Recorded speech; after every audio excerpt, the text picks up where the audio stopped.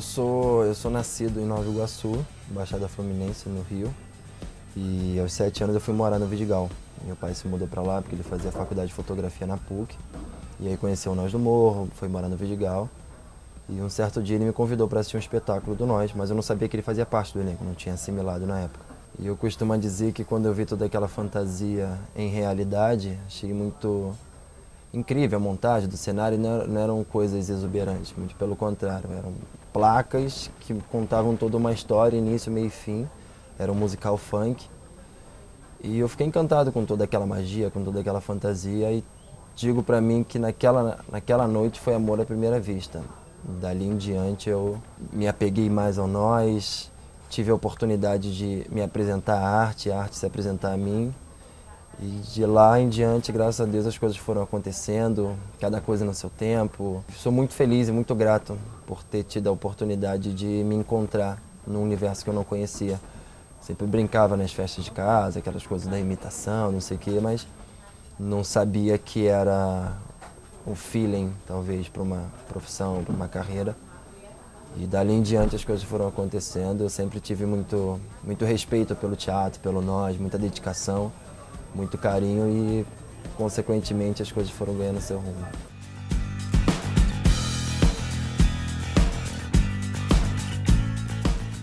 Ah, para mim foi fundamental, assim, mais que me dar a oportunidade de me encontrar como artista, me formou como uma pessoa digna, trabalhadora.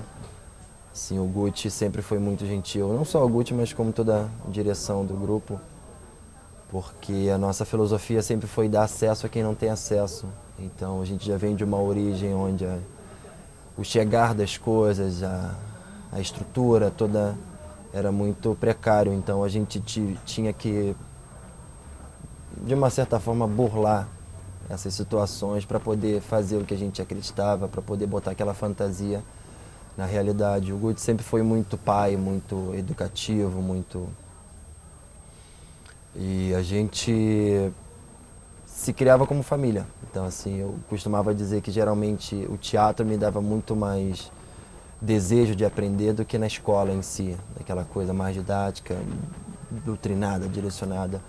Lá era um pouco mais espontâneo, um pouco mais livre e, pelo contrário, ele fazia com que você fosse atrás do seu estudo, do seu conhecimento. Então, a formação do grupo e quem se forma por lá, acho que acaba vendo o mundo da arte de uma forma mais humana, mais humilde, mais sincera.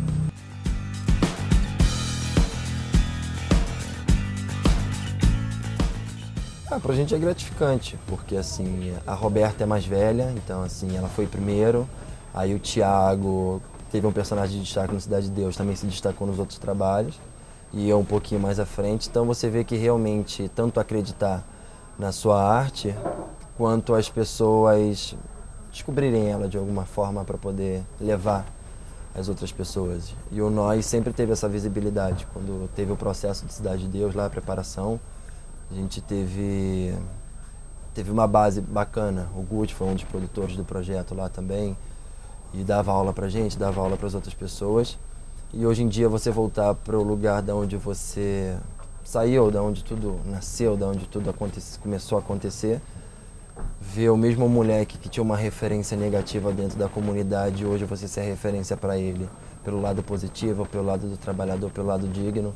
Para a gente é uma gratificação muito grande porque você vê não só o seu trabalho sendo reconhecido, mas você como pessoa, tanto evoluindo quanto evoluindo outras pessoas também, aproximando elas um pouco mais.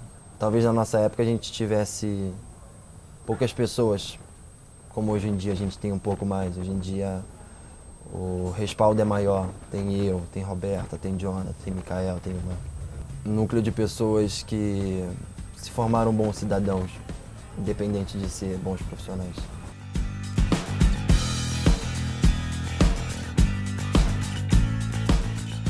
Eu sempre fui uma pessoa muito ansiosa, muito criava expectativa das coisas e essa profissão acaba te ensinando um pouco a lidar com essa expectativa. Às vezes você faz um teste super bacana para um trabalho, fica feliz com o resultado do seu empenho e não acontece. Então as coisas te deixam um pouco uma carreira muito lá em cima e lá embaixo.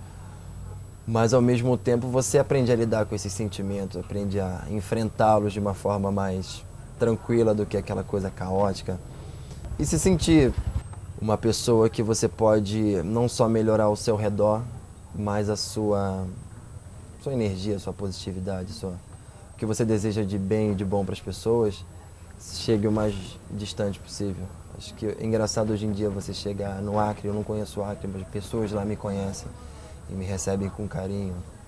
Então, isso isso faz com que você veja que em situações o mundo é muito pequeno, mas ao mesmo tempo ele é muito amplo. Muitas pessoas, muitas culturas, muitas coisas. Isso é é a magia de viver.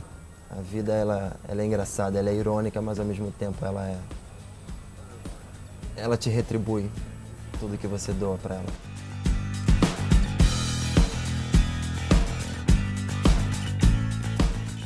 Foi grande, assim, não só pelo trabalho, mas pelo movimento que ele causou. De você ter um olhar da comunidade, não só pelo lado do tráfico. As pessoas já conheciam, mas você poetizar talvez humanize um pouco mais a situação.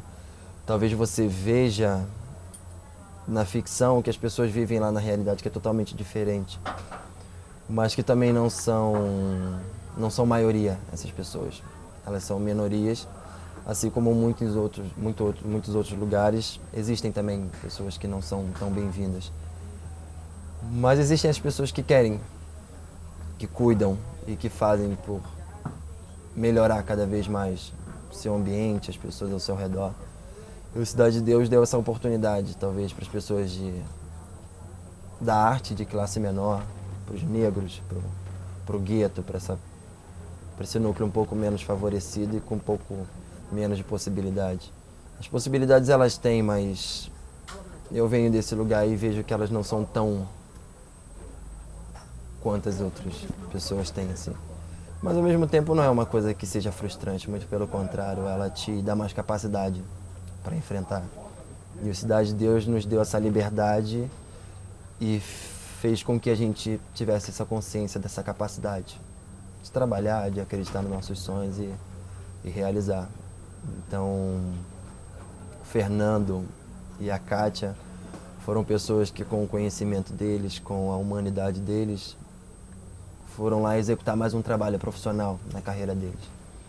E de lá eles descobriram muitos humanos e creio que eles também se descobriram muito como pessoa no meio daquelas aqueles elementos de vida, vamos dizer assim. E foi gratificante porque você, enfim, eu era muito novo, então toda aquela magia de filmar, ganhar um dinheiro, ter amigos em comum trabalhando junto e depois ver o resultado foi uma fantasia. E é engraçado que hoje em dia chegar e assistir lá atrás, falar, pô, que legal ter amadurecido e ter o registro desses, desses momentos da vida. Acho que talvez uma das coisas que eu mais gosto da minha profissão seja isso, o registro de que das suas fases, das coisas que foram passando e da sua evolução como profissional.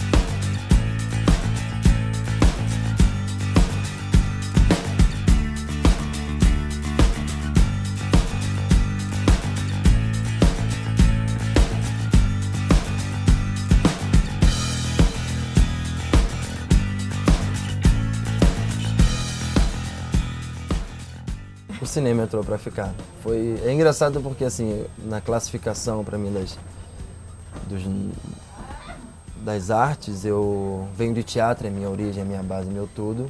O cinema veio logo como consequência de um contato mais mais próximo ao mesmo sentimento que eu tive do teatro. A televisão tinha um pouco mais de receio por ser close, por ser mais emocional, por ser um pouco mais um pouco mais direcionado do que intuitivo, vamos dizer assim. Mas foram universos que se conectaram, que souberam, que eu acabei sabendo lidar paralelamente. Então hoje em dia eu tenho uma propriedade de me comportar no palco, Assim como eu tenho uma segurança em, no cinema, uma liberdade, e assim como eu aprendi a adquirir a técnica para a televisão. Então são universos paralelos, mas que ao mesmo tempo estão sempre conectados. Você tira um pouquinho do seu teatro e põe na televisão, você põe um pouquinho da técnica da televisão, põe no cinema, você pega e assim você vai mesclando e vai sabendo misturar o, o tom das coisas para ficar legal o resultado.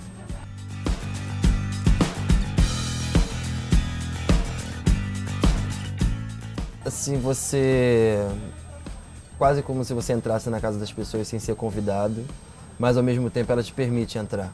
Ela te assiste, ela te prestigia, ela te critica, ela te questiona e ela te parabeniza também. Então, quando eu fui chamado para fazer Viver a Vida, que foi minha primeira novela, eu lembro da sensação que a minha banda ia se apresentar numa quadra de escola de samba. Mas na semana anterior à novela ter começado, a gente estava no mesmo lugar para fazer a mesma coisa, mas e na semana seguinte a gente voltou para fazer o show. E engraçado você ser uma pessoa em uma semana e uma semana depois você ser uma outra pessoa no olhar de quem está assistindo. E eu, no início era ah, o menino da novela, ah, o namorado da Sandrinha, ah, e o bandidão. E é engraçado você ouvir coisas sobre você, por mais que seja numa terceira pessoa, um personagem, mas você está ouvindo sobre uma imagem sua emprestada para uma outra, para um trabalho. E aquilo foi curioso para mim, porque eu, eu achei um pouco divertido, ao mesmo tempo um pouco invasivo, porque você perde a sua privacidade, você não necessariamente é você, agora você é um personagem também, mas que faz parte da profissão. Eu acho que todo bom profissional, quando ele vai crescer, ele vai se destacar, ele vai fazer aquilo da vida, você acaba aprendendo a lidar com o que é bom e o que é ruim e sabendo dosar as coisas nem tudo que é ruim é tão ruim, nem tudo que é tão bom é tão bom assim.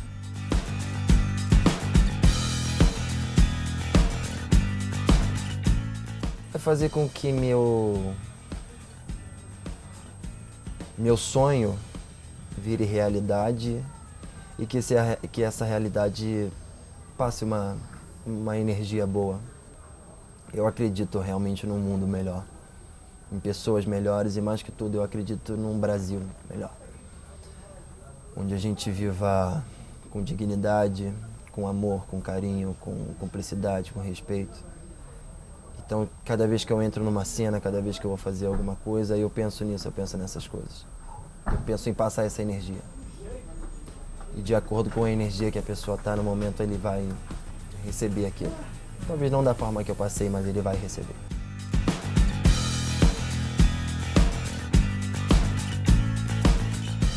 Foi nessa coisa de trabalhos e. Ah, tem um, um curta que o, o Bruno te convidou, veio com o nome do Bruno já. Diretor super bacana, de prêmios e tal e coisa, mas até então, com a profissão, com a carreira, você acaba recebendo como um, mais um trabalho que você vai conhecer e vai ver se realmente vai dar, porque às vezes você quer fazer, mas datas e outras coisas acabam não coincidindo. As coisas acontecem porque elas têm que acontecer. Nada é tão previsível que possa sair do eixo e você não colocar ele de volta. E uh, quando eu li, eu me apaixonei pela história, pelo contexto do todo, pelo personagem, que é uma das primeiras coisas que você vai lá, quer saber qual é o seu personagem, o que, é que ele faz, como ele é. Mas a história era muito atrativa, ela me pegou quando eu li. E aí no segundo momento você se pega pensando, como é que eu vou dar vida a essa, a essa pessoa? E aí vem para a terceira fase, que quando você chega no set, conhece todo o elenco, conhece toda a equipe, a estrutura das coisas. Em alguns trabalhos que eu tive foi aquela coisa, um trabalho bacana quando eu recebi o projeto, quando a gente vai para execução. E aqui não, aqui eu senti uma, uma harmonia, senti uma família sendo formada. Teve uma coisa que para mim foi muito importante no primeiro dia de filmagem, que foi o Bruno chamar toda a equipe, agradecer, dizer que é um trabalho que todo mundo está para somar. Então, quanto mais a gente se ajudar, mais bonito vai ficar e mais legal o resultado para todo mundo. E foi acontecendo. Assim, eu sou uma pessoa muito extrovertida, muito às vezes até Mas eu gosto de um clima agradável. Eu acho que você não precisa manter uma seriedade só por manter uma seriedade. Você pode manter um clima descontraído, mas manter a seriedade do trabalho. Tanto que todas, às vezes eu fico até brincando minutos antes de falar ação, descontraindo na coisa, mas porque eu sei o respeito que eu tenho pela profissão. Eu, eu brinco, mas eu não estou de brincadeira com a coisa, muito pelo contrário. Eu, eu respeito muito tanto os profissionais quanto ah, o meu lado profissional também na hora que tem que ser. E de repente eu te amo veio para como um presente. Eu assim, independente das outras pessoas, eu não sou aquela que fica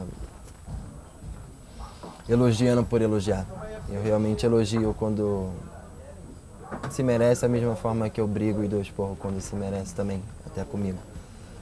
E eu tenho um carinho muito grande por esse, por esse projeto, não todo, desde quando surgiu a proposta até hoje.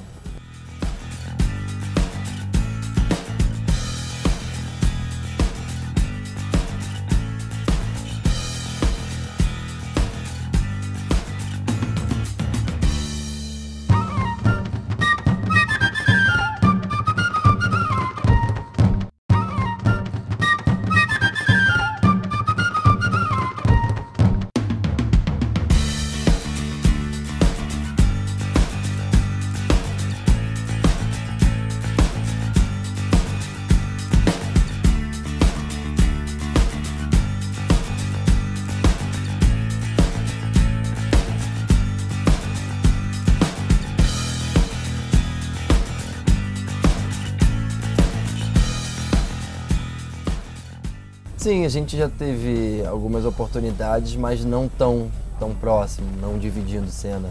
Assim, pelo menos no teatro não, porque era da turma mais adulta, geralmente a gente era da turma das criança, adolescente. E eu lembro que o espetáculo que a gente fez, o Gota d'Água, que eu fazia parte do elenco, ele fazia parte do. Era um musical ao vivo e ele era um dos músicos. O Viver a Vida, que foi minha primeira novela, ele me prendeu três vezes. Ele foi três tipos de policial. Eu lembro que na Malhação também ele fez uma participação comigo. E esse ano a gente conseguiu firmar um projeto que a gente tanto namorou, tanto desejou, que é o espetáculo Minutos Atrás. Ele participou da primeira montagem, porque o autor foi diretor, produtor, e era o Caio Sol, o diretor, autor, meu pai e o Babu Santana no elenco. Mas ficou muito pouco tempo, eles participaram de um, de um festival, ganharam todos os prêmios, mas a demanda da vida, as coisas às vezes não consegue manter aquela regra. E a gente tentou montar esse projeto durante dois anos, mas enfim, novelas, peças deles, projetos, as coisas, e esse ano veio o calhar da gente dar uma pressão um pouco maior, tipo, vamos montar de qualquer maneira, vamos. Então a gente geralmente ensaiava uma hora da manhã até as três, quatro. Enfim, então você acaba se adaptando à arte da mesma forma que a arte se adapta a você. E a gente foi feliz porque a gente ia convidar alguém para dirigir e no fluxo das coisas a gente preferiu não, preferiu ir naquele sentimento.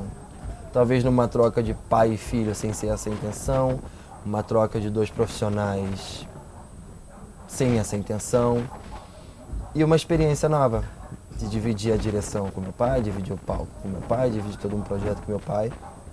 E foi engraçado que eu estava me sentindo um pouco atrofiado em criatividade, mas sempre que eu chegava para ensaiar, não, eu não existia esse questionamento.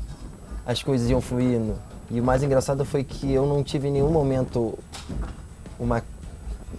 Não é crítica, mas uma opinião contrária à do meu pai, nem ele a minha.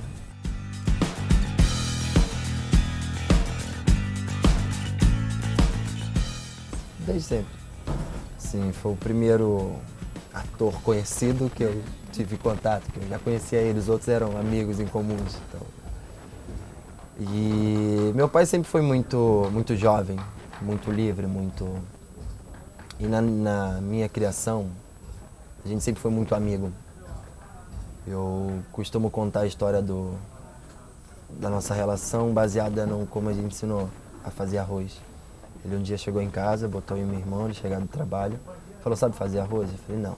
Então é o seguinte, você põe a água para ferver, lava o arroz, dá uma dourada no alho, põe o arroz na panela, dá uma dourada no arroz, joga a água, tapa, abaixa o fogo e deixa a água escoar. para você conferir, pega o garfo e vê se realmente aprendeu. A gente falou, não, então amanhã eu não volto para fazer o almoço, tá? Então aquilo foi significativo para a vida. Que pai e mãe geralmente têm os filhos para ele, mas eles acabam ficando pro mundo. Então assim, a gente tem uma relação super bacana, super amigo. Até nos últimos tempos um conflito maior, acho que pela idade, pelo temperamento de adolescente, a gente soube lidar bem. Então a gente mesmo distante pelos tempos, pelas coisas, a gente sempre é muito próximo. A gente sempre está pensando todo o tempo. Engraçado que agora eu falando dele, eu tenho certeza que ele está pensando em mim. Ele está em Portugal rodando um curta também, ó, a ironia das coisas. Mas assim, eu sou muito admirador da pessoa do meu pai, do artista do meu pai. Eu sei que ele é bem mais artista do que eu. Ele é poeta, é músico, é a flor da pele. Eu talvez seja um pouco mais técnico.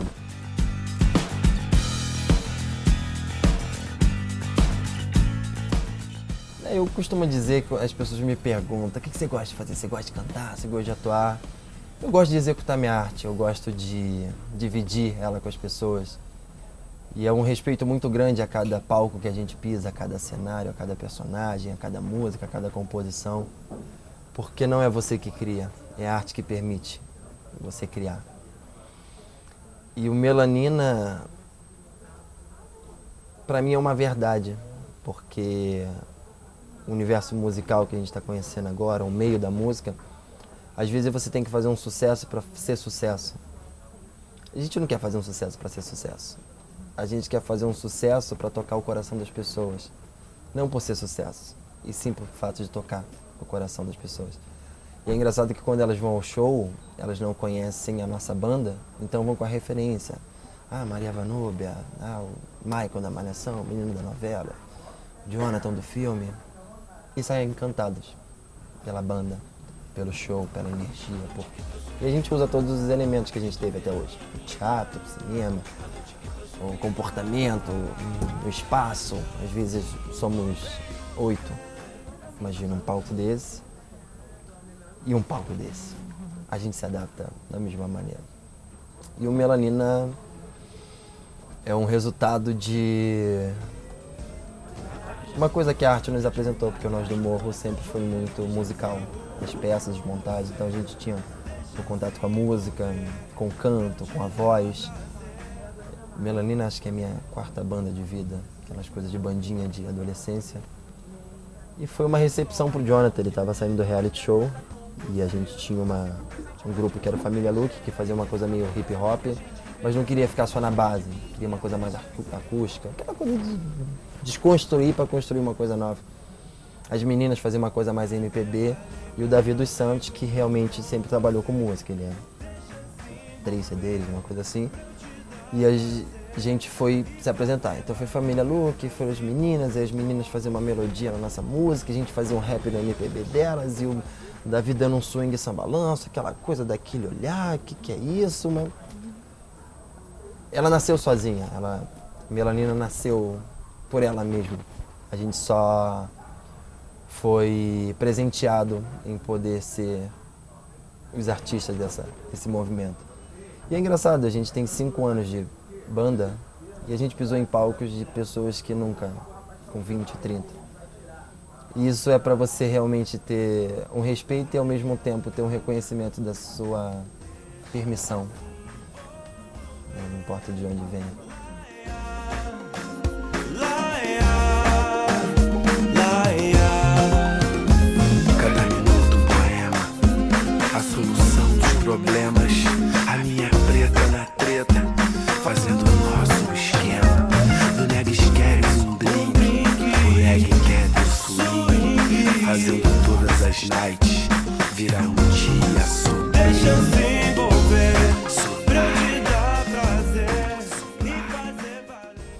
Engraçado que eu nunca fui uma pessoa muito de fazer planos. Eu vivo muito o dia de hoje. Porém, você tem que se planejar, né? É, eu estou entrando agora numa nova novela depois de, de um tempo de descanso, porque os trabalhos foram emendando uma coisa em cima da outra.